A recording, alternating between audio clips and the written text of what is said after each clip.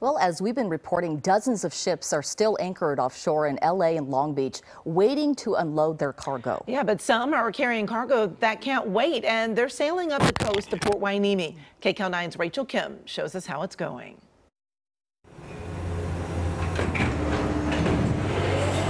The traditional cargoes at the Port of Hueneme are bananas, fresh produce, cars, and fertilizer. But with the current backlog of ships at the ports of Los Angeles and Long Beach, the Port of Hueneme CEO and director says they've become a relief valve for the congestion at the bigger ports down south.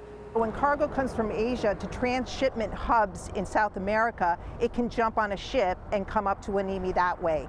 We're also seeing some smaller size vessel charter ships out of smaller niche shipping lines in Asia and bring their cargo here this way. Decas says the Port of Hueneme is also helping out on the export side and we're seeing those containers come here to Port Hueneme and be able to get on ships and move to South American trade lanes. In fact, just this first quarter alone, our export volumes are up 219%. And to avoid the bigger ports, some vessels are now unloading all of their containers at the Port of Hueneme. We certainly can help move certain types of commodities that are more time sensitive to the market, say electronics and other important commodities, can now start coming through here. To my left, this is what's called a mobile harbor crane. This is how smaller niche ports like Hueneme unload and offload containers from vessels.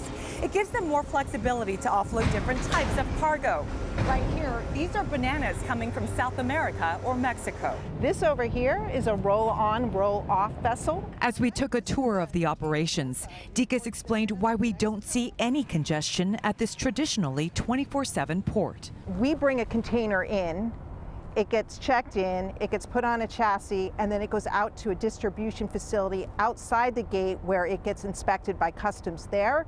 Hence, you don't have bottlenecking here inside the gate and at the gate of the ports. Decas is glad to hear the governor has ordered other ports to start looking into offsite storage areas or distribution facilities. It's important that we continue to really act as that operating port, that conductor, to make sure that all aspects of the supply chain are in check and have the capability to handle the volume of cargo coming through this operation. Reporting from Port Hueneme, Rachel Kim, KCAL 9 News.